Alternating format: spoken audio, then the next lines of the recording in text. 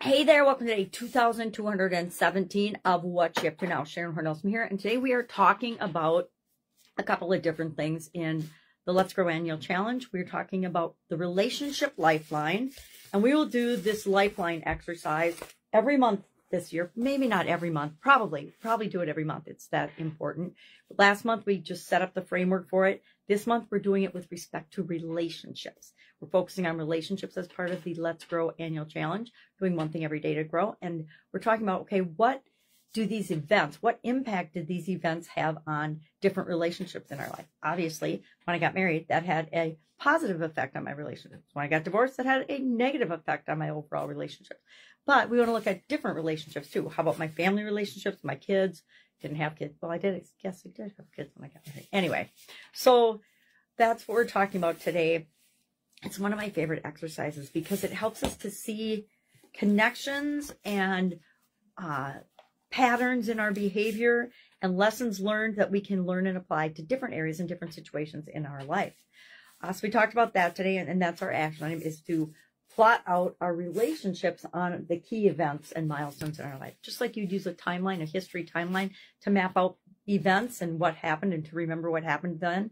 We do the same thing in our life with different areas and aspects of the events that have happened in our life because history is fun to learn about, right? But there's nothing more important to learn from than our own life experiences.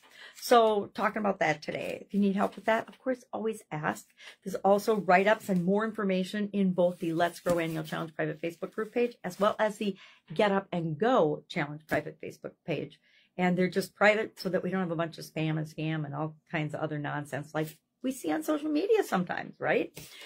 For Supersize Your Business today, we are talking about the importance of data analytics and using them to find insights and make decisions for our business, right?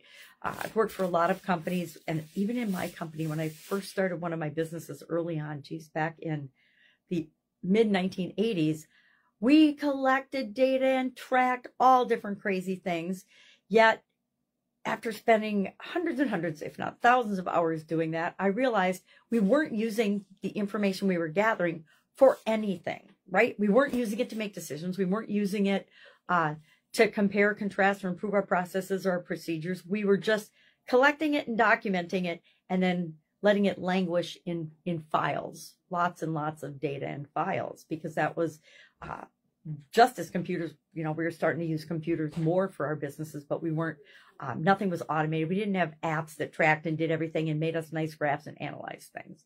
So, uh, I developed early on in my career this belief that we should measure what really matters and is really going to move the needle when it comes to getting us the results that we want and moving us toward what we want. Uh, and learned that and was reinforced in corporate America in my corporate career. I spent over a quarter century in corporate America and we did the same thing. We we reported on and did a lot of non-value added activities as managers and leadership groups and uh, that just uh, lit a fire under me to find more efficient more effective ways of doing absolutely everything and one of those is measuring things what we measure what we look at the key performance indicators because everything isn't going to give us the quick snapshot that we need to make better decisions and to help our business to grow faster. So we've talked about that today for Supersize Your Business. Uh, that's it. If I can help you in any way, hit me up and ask. Otherwise, I am on the road for a little while, and when I'm home, that's that I'm home. But for right now, I've cleared my schedule for some personal reasons, and I am available if you ask.